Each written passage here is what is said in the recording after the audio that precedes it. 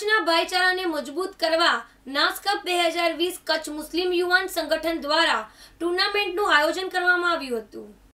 કચ્છ એક ભાઈચારામાં માનતો પ્રદેશ છે. અહીંયા હિન્દુને કંઈ પણ તકલીફ થાય ત્યારે મુસલમાનોના આંખમાં આંસુ દેખાય છે. કચ્છની એકતા કાયમ રહે તે માટે અખિલ કચ્છ મુસ્લિમ યુવા સંગઠન દ્વારા અંજાર રાત્રિ પ્રકાશ ટુર્નામેન્ટ રમાડવામાં આવી હતી, જેની અંદર સમગ્ર કચ્છના ક્રિકેટ પ્રેમીઓએ ભાગ લીધો હતો. આ ટુર્નામેન્ટની ફાઇનલનો ટોસ ચાંદીના શિખરથી શરૂ કરવામાં આવ્યો હતો. હિન્દુ મુસ્લિમ એકતા નાસ કપ બે હજાર વીસના આયોજનમાં ચોસઠ ટીમોએ ભાગ લીધો હતો.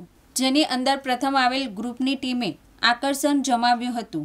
ટુર્નામેન્ટમાં હિન્દુ અને મુસ્લિમ સમાજના આગેવાનોએ ટુર્નામેન્ટને સફળ બનાવવા માટે તન, મન, ધનથી મદદ કરીને પોતાનું યોગદાન આપ્યું હતું. આજના આ સમયમાં લોકો ભાઈચારાની ફક્ત વાતો કરે છે, પરંતુ અહીં મુસ્લિમ યુવા સંગઠનના કાર્યકરોએ બતાવ્યું છે. આ ટુર્નામેન્ટ હિન્દુઓ અને મુસ્લિમો એટલે હમ બનીને રમાડવામાં આવી હતી.